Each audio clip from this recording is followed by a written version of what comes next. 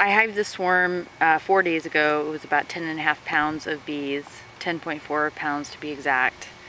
And um, I'm sad to say that several hundred bees have already died. Um, I, they've gotten into something. Um, so they're doing this erratic dance. Um, they seem really disoriented and um, then they die or become paralyzed and then are panting for 10 15 minutes before they die um, it really seems to be to my eyes it seems to be some kind of nerve thing that's happening um, because of the disorientation and the quivering. I wish that my camera could focus in on this bee so that you could see up close. Um, and my guess is that um, they were clustered on some ground cover roses and I wonder if those roses had been sprayed.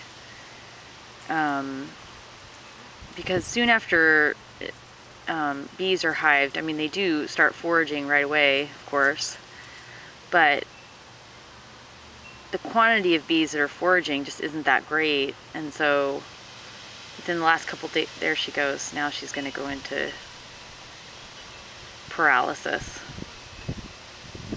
Um,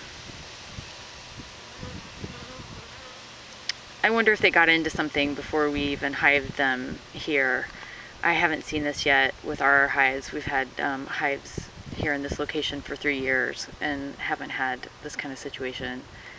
That's not to say that they didn't get into something around here, but it's really sad to see and very disheartening. Um,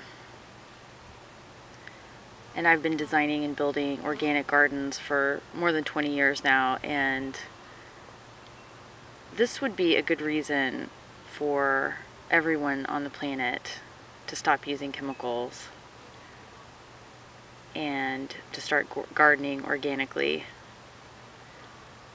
because it is the saddest thing to watch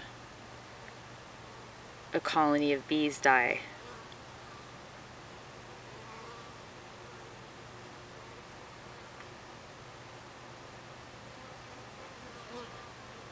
She's lasting longer than most of them. Here's another one. I've set up a, a uh, gangplank here of plywood just so I can kind of keep track of how many are dying.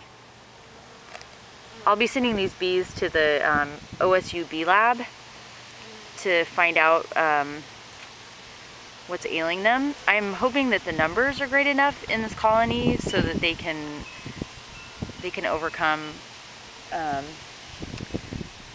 whatever there is ailing them right now.